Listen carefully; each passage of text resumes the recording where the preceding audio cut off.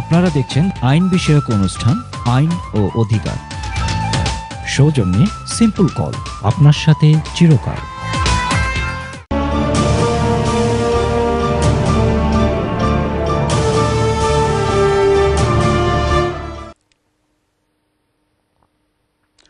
আসসালামু আলাইকুম সুদী দর্শক, আবারও শুভেচ্ছা এবং স্বাগত এনটিভির এই জনপ্রিয় অনুষ্ঠান আইনি অধিকার থেকে।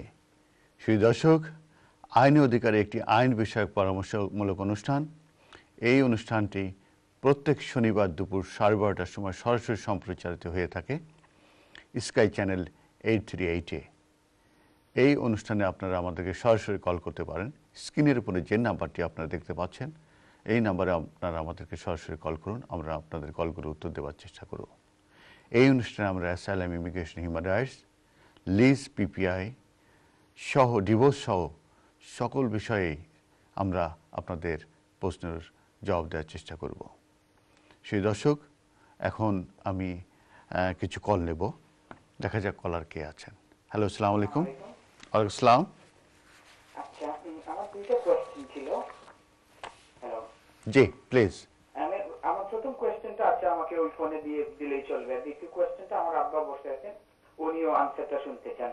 আমার কোয়েশ্চেনটা হচ্ছে আমি টু থাউজেন্ড টুয়েলভের এইটিন্থ এপ্রিলে টায়ার ফোর স্টুডেন্ট ভিসার জন্য এক্সটেনশনের জন্য অ্যাপ্লাই করি। তারপর ওই টু থাউজেন্ড টুয়েলভের টোয়েন্টি এইট ডিসেম্বর আট মাস পরে আমাকে রিফিউজ করে দেয় বিকজ আমার ব্যাংক স্টেটমেন্টটা ছিল বাংলাদেশ ইসলামী ব্যাংকের এটা আমার মায়ের নামে, মায়ের অ্যাকাউন্টে ছিল। ওখানে আমি বার্থ সার্টিফিকেট দেইনি, এই জন্য আমাকে রিফিউজ করে দেয়। ওই বছর আমি আবার টু থাউজেন্ড থার্টিনের এপ্রিলে আমি ওই অ্যাপিলে যাই অ্যাপিল উইন হই। তারপর টু থাউজেন্ড থার্টিনের এপ্রিলে যখন উইন হই আমি টোয়েন্টি নাইন্থ অফ এপ্রিলে তারপর একদিন আপনাকে ফোন করেছিলাম। আপনি বলেছিলেন যে আমি এমপির কাছে যাওয়ার জন্য। তারপর ওই ডিসেম্বরের দিকে আমি এমপির কাছে লোকাল এমপির কাছে তো তারপর এমপি যখন জানুয়ারিতে চিঠি লিখেন টু থাউজেন্ড ফোরটিনের এই বছরের তখন ফেব্রুয়ারি সাতাইশ তারিখে আমাকে আবার রিফিউজ করে দেয় ওরা। যে বলে যে আমার যে ব্যাংক স্টেটমেন্ট যে ইসলামী ব্যাংকের যে স্টেটমেন্টটা ছিল এইটা হচ্ছে ওই তাদের ওই ইনস্টিটিউশনের মানে রিকগনাইজ ইনস্টিটিউশনের না আচ্ছা। তারপর আমার গতকালকে ছিল অ্যাপিল হিয়ারিং হ্যালো জি ভাইয়া, বলুন। পরশু আমাকে তারা আমার সলিসিটরকে সলিসিটরকে একটা চিঠি দিয়ে দেয় যে তারা যে এই ফেব্রুয়ারি সাতাইশ তারিখে যে ডিসিশনটা দিয়ে দিয়েছে আমাকে সেকেন্ড টাইম যে রিফিউজ করেছে এই রিফিউজাল এই ডিসিশনটা তারা উইথড্র করে ফেলেছে অতএব আমাকে ইয়েতে যেতে হবে না অ্যাপিলে যেতে হবে না আর তারা ওইটা অ্যাসাইলেন এবং ইমিগ্রেশন চেম্বারকেও এইটা জানিয়ে দিয়েছে। জি। তো আমার প্রশ্ন দুইবারের রিফিউজে আর ওই ডিসিশনে আমার প্রায় সাতাইশ মাস চলে গেছে। আমি আমার ইউনিভার্সিটির এই থ্রি ইয়ার্স বিএসসি অনার্স কোর্সের ফাইনাল ইয়ার ফাইনাল সেমিস্টারে বাট আমি অনেকটা মানসিক ভাবে অসুস্থ হয়ে গেছি বা শারীরিক ভাবে আমি হোম সিকনেস থাকতে থাকতে শারীরিক আপনার কোশ্চেনটা কি ভাইয়া? আমার প্রশ্নটা হচ্ছে যে তাদেরকে কীভাবে চেস আপ করা যায়? যে এতদিন চলে গেল আমার ভিসা এখন দিচ্ছে না। এখন রিকনসিডারেশন যেহেতু ওরা আবার করতে চাচ্ছে আমার মনে হয় যে এইবারে খুব তাড়াতাড়ি কিছু একটা পেয়ে যাবেন। আমার মনে হয় তিন মাস অপেক্ষা করুন। যদি তিন মাসের ভিতরে যদি কিছু না পান তাহলে আবার আপনি এমপির কাছে যান। অথবা ওদেরকে চিঠি লিখুন। ঠিক আছে ভাইয়া বুঝতে পারছি এই ভিতরে তো আমার কোর্সের মেয়াদটাও শেষ হয়ে যাবে ও না যদি শেষ হয়ে যায় এখন ওরা যেটা করতে পারে সেটা সেক্ষেত্রে আপনার একটা শর্ট একটা ভিসা দিয়ে দিতে পারে। দিয়ে তারপরে আবার আপনি যদি আবার ফার্দার এডুকেশন যদি আপনি পার্সু করতে চান তখন আবার কাজ নিয়ে আপনি আবার রেগুলাইজ করতে পারবেন আমি যেহেতু বলেছি আমি ফাইনাল ইয়ার ফাইনাল সেমিস্টারে আছি আমি অনেকটা মানসিকভাবে এবং শারীরিকভাবে অসুস্থ জি জি হয়ে গেছি হোম সিকনেসের কারণে। জি জি। তো আমার প্রবাবলি এই বছর আমি এই এই ফাইনাল সেমিস্টারে রেজাল্টেশন জমা নাও দিতে পারি। ঠিক আছে আপনি দেখেন কি হয়। আপনি দেখেন কি হয় ওরা বায়োমেট্রিক কার্ডটা ইস্যু করলে দেখেন যে কতদিন ভিসা আছে। তারপরে আপনি সেই অনুযায়ী আপনি প্ল্যান করে ডিসিশন নেন। ঠিক আছে ভাই next caller next caller hello সালাম আলাইকুম। আসসালামু আলাইকুম। আসসালাম। ভাই আমি একটু জোরে বলুন আপনার কথা একদম শুনতে পাচ্ছি না। ভাই। একটু জোরে বলুন আমি ম্যানচেস্টার থেকে বলছি হ্যাঁ এবার ঠিক আছে বলুন হ্যাঁ যে আমি eighteen thousand six hundred pound দেখে আমি অ্যাপ্লিকেশন করে আমি লিভ পাইছি grant of leave to remain five years partner route hmm.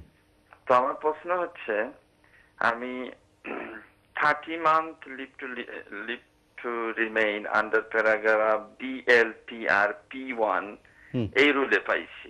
জি। তো আমার চিলড্রেন আছে তো আমার আমার ওয়াইফ কি পাবলিক ফান্ড নিতে পারবে?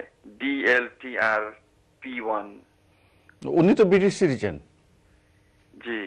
উনি ব্রিটিশ সিটিজেন আপনি eighteen thousand six hundred satisfy করে আপনি ফাইভ ইয়ার রুট টু সেটেলমেন্টের লিভ পেয়েছেন তাই তো? হ্যাঁ জি। এখন উনি ব্রিটিশ সিটিজেন হিসাবে উনি whatever he is entitle কিন্তু আপনার যে ইনকাম আছে সেটা ডিসক্লোজ করতে হবে কিন্তু। তা নাহলে ডিসিশনে এবং হ্যাঁ। ফ্রডে পড়ে যাবেন। তা আপনার ইনকাম যদি eighteen thousand six hundred declare করার পরে যদি যদি এখন সেই ইনকামটাই থেকে থাকে। জি তারপরে যদি উনি কিছু পান দেন শি ইজ ইন্টাইটেল ঠিক আছে? তবে এখন তো আমাদের তো সবসময় জব তো সেম থাকতে নাও থাকতে পারে। যে সেটা আলাদা কথা। আছে সেটা বুঝতে পেরেছি আপনি কি মিন করছেন। তবে নেক্সট যখন আপনার এক্সটেনশনে যাবেন আপনার কিন্তু সিক্স মান্থ এভিডেন্স লাগবে এবং without request to public fund ঠিক আছে? এখন এই যে আড়াই বছরের ভিতরে আপ ডাউন হতে পারে কিন্তু অ্যাপ্লিকেশনের আগে ছয় মাস এভিডেন্স যদি না থাকে তাহলে কিন্তু আপনার অ্যাপ্লিকেশন ফেল করবে। এবং সেক্ষেত্রে আপনার উচিত হবে আপনি তো ইন্টারটেল না আপনার ওয়াইফেরও সেক্ষেত্রে এটা গিভ আপ করা উচিত হবে। ঠিক আছে ভাই? নেক্সট কলার হ্যালো সালাম আলাইকুম। আসসালামু আলাইকুম। ওয়ালাইকুম আসসালাম। আমি ফিনল্যান্ড থেকে শহীদুল বলছিলাম। হ্যাঁ সদুল ভাই কেমন আছেন? জি আলহামদুলিল্লাহ ভালো আছে। আপনারা ভালো সবাই? জি জি। আমার কোশ্চেন হচ্ছে যে আমি অ্যাপ্লাই করেছি রিসেন্টলি আমার সিটিজেনশিপ হয়ে যাবে আর আমার আর আমার একটা দেড় বছর মেয়ে আছে। এখন আমরা দুজনের সিটিজেনশিপ হয়ে যাবে আমার ওয়াইফের শুধু রেসিডেন্স পারমিট আছে এখন আমরা ইংল্যান্ডে মুভ করতে চাচ্ছি আর কি। আমাদের করণীয়টা কি? আমরা এখানে অ্যাপ্লাই করে দেওয়া লাগবে না? ওখানে যে অ্যাপ্লাই করব? সুবিধা? আপনারা এখন আপনারা এখন কোথায় আছেন? ফিনল্যান্ডে হেলসিঙ্কিতে। ও ফিনল্যান্ডে আছেন? জি। আপনি ফিনল্যান্ডের পাসপোর্ট হোল্ডার জি জি। আচ্ছা ফিনল্যান্ডে তো ইউ আপনার মেম্বার অথবা আপনি ফিনল্যান্ডের পাসপোর্ট যদি থাকে তাহলে এখানে এসে আপনি থাকতে পারবেন কাজ করতে পারবেন কোনো অসুবিধা হওয়ার কথা না। আপনার কোশ্চেনটা কি আপনার ওয়াইফের জন্য? জি জি আমার ওয়াইফ শুধু এখানকার রেসিডেন্স পারমিট আছে তার সিটিজেনশিপ নাই। ও তাহলে সেই ক্ষেত্রে আপনার ওয়াইফ আপনার কিন্তু বাংলাদেশি ন্যাশনালিটি তাই তো? জি জি জি। তাহলে আপনারা আসতে পারবেন আর উনি আসবে আপনার ডিপেন্ডেন্ট হিসাবে। ঠিক আছে? আপনার ফ্যামিলি ফ্যামিলি মেম্বার হিসাবে আর স্পাউস হিসাবে আসবে। এবং উনি আসতে পারবেন আপনার সঙ্গেই। আপনার ওখান থেকে আপনার ওয়াইফকে অ্যাপ্লাই করতে হবে। হ্যাঁ অ্যাপ্লাই করতে হবে। করে ওনার ভিসা নিতে হবে। আর আপনার কোনো ভিসা কোনো কিছু লাগবে না। এটা ফ্রি মুভমেন্ট আপনি ইউরোপের যে কোনো দেশে যে থাক- থাকতে পারবেন, কাজ করতে পারবেন, কোনো অসুবিধা নেই। কিন্তু আপনার ওয়াইফের ভিসা নিয়ে আসতে হবে ফ্যামিলি পারমিট অথবা আপনার ওয়াইফের ব্রিটিশ ফিনল্যান্ডের পাসপোর্ট হলে তখন আপনাদের মতো একসঙ্গে চলে আসলো। সেটা করতে পারেন। দুটো অপশন আছে আপনাদের জন্য। ঠিক আছে ভাই? হ্যালো নেক্সট কলার হ্যালো আসসালামু আলাইকুম। হ্যালো হ্যালো জি কোশ্চেন আসসালামু আলাইকুম। আসসালাম একটু জোরে বলুন কোশ্চেনটা করুন বলুন। জি আমি কারেন্টলি স্টুডেন্ট ভিসা আছি আমার এই ভিসাটা শেষ হওয়ার পরে আমার আরও নয় মাস বাকি থাকে দশ বছরের অ্যাপ্লিকেশন করতে। সেই টাইমটা আমি কি করলে আমার জন্য বেস্ট হবে? এখন তো সমস্যা হচ্ছে। আপনার এই ভিসাটা শেষ হবে কবে? মার্চে শেষ হবে টু থাউজেন্ড ফিফটিনে ওখান থেকে আরও নয় মাস থাকবে। জি। আপনার কি এক্সটেনশন টিয়ার ফোর এর কোনো এক্সটেনশনের সম্ভাবনা থাকবে? নাকি ক্যাপে পড়ে যাবেন? ফোরে আমি আসছি সোফার পাঁচ বছর আর কি। আমি লেভেল লেভেল ফোর ফাইভ করছি তিন দুই বছর আর লেভেল সেভেন করছি এক বছর। এখন এইটে আপনার পাসপোর্ট সার্টিফিকেটগুলো নিয়ে বসে দেখতে হবে যে আপনি ক্যাপের ভিতরে পড়েন কিনা। আপনার জন্য অপশন যেটা আমি বলি সেটা হচ্ছে যে স্টুডেন্ট অ্যাপ্লিকেশন এক্সটেনশন করা হবে best option number one sorry বুঝি নাই ভাই স্টুডেন্ট এক্সটেনশন অ্যাপ্লিকেশন করে যদি আপনি আরও নয় মাস নিতে পারেন তারপরে টেন ইয়ার্স অ্যাপ্লিকেশন করতে পারেন এটাই হবে বেস্ট অপশন আপনার জন্য। যদি ক্যাপের ভিতরে না পড়েন ঠিক আছে? আর এখন যেহেতু বিশ তারিখ থেকে এই মানডে থেকে আপনার আর অ্যাপিল রাইট থাকবে না। তো যে কারণে আগে যেটা করা হতো সাধারণত অন্য কোনো অ্যাপ্লিকেশন করে অ্যাপিল যদি ট্রিগার করতো হিউম্যান রাইটস অ্যাপ্লিকেশন করে তখন অ্যাপিল ট্রিগার করলে অ্যাপিলটা ড্রাগ হলে বা দিস টাইম টেন ইয়ার্স হয়ে যেত। এটা আগে এইভাবে একটা ক্লায়েন্টরা এইভাবে করতো। কিন্তু এখন বিশ তারিখের পর তো অ্যাপিল রাইট থাকবে না। আপনি যদি হিউম্যান রাইটসে যান, ওরা কুইকলি রিফিউজ করে দেবে। আবার অ্যাডমিনিস্ট্রেটিভ রিভিউ কুইকলি হয়ে যাবে। তার যে কারণে আপনি বেশি একটা ড্র্যাগ করতে পারবেন না। যে কারণে আপনার জন্য অপশন হবে আইদার যদি ক্যাপে না পড়েন, তাহলে এক্সটেনশন করেন। আর যদি ক্যাপে পড়েন, দেখেন দেখেন পিএইচডি লেভেলে আপনি কোনো পিএইচডি লেভেলে আপনি যদি কোনো কাজ পেতে পারেন তাহলে আপনি আবার এক্সটেনশন পেয়ে যাবেন। ঠিক আছে? তখন ওটা ক্যাপের বাইরে পড়বে পিএইচডি লেভেল হলে। থ্যাংক ইউ শ্রী দর্শক আমরা প্রায় শেষের দিকে এসে গেছি।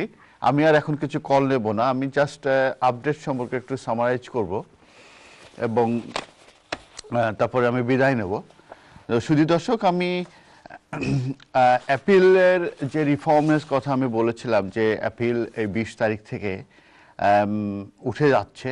তো এখানে মেনলি স্টুডেন্টের ব্যাপারে কিন্তু কনফার্ম করা হয়েছে যে স্টুডেন্ট অ্যাপিলাইট থাকবে না এবং মিনিস্টারের যে বক্তব্য সেটার ভিতরে এসে গেছে যে হু আর যারা ফরেন ক্রিমিনাল আছে এবং তাদের কন্ডিউসিভ টু দ্য সোসাইটি তাদের যে ডিপোর্টেশনের ক্ষেত্রে অ্যাপিল রাইট থাকবে না আনলেস দেয়ার আর ইরিভার্সেবল রিক্স এবং তাদের আউট কান্ট্রি অ্যাপিল রাইট দেওয়া হবে এবং সেখানে যাওয়ার পরে তারা ওখান থেকে অ্যাপিল রাইট এক্সারসাইজ করবে। এইভাবেই কিন্তু আসছে। আর অন্যান্য কিছু অ্যাপ্লিকেশন এবং যেটা বলে চেঞ্জ অফ স্টেটমেন্ট যেটা পার্লামেন্টে পাশ হয়ে গেছে, সেটা বিশ তারিখ থেকে ইমপ্লিকেশন হচ্ছে খুব শর্ট টাইমের জন্যে।